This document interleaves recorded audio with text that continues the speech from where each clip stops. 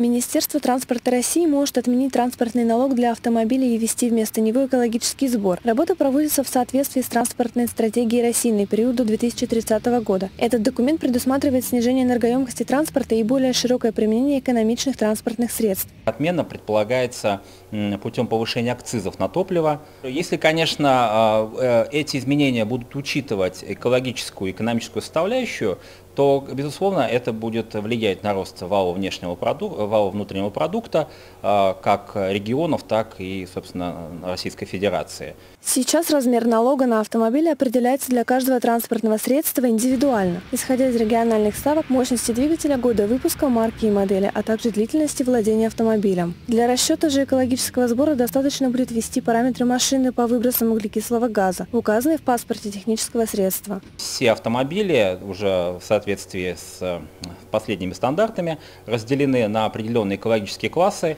и чем, так сказать, класс э, ну, больше наносит вред, тем, соответственно, он э, больше платит налог. То есть, безусловно, смысл в этом и экономический, и экологический имеется. Депутаты разных фракций стали предлагать варианты об отмене транспортного налога путем повышения акцизов или введения специального экологического сбора. Будет или нет отмена транспортного налога в 2017 году, зависит от того, примут ли ее в первом, втором или третьем чтении в Госдуме. Лешко Регина, Екатерина Чеплогова, Владислав Михневский, Универньюз.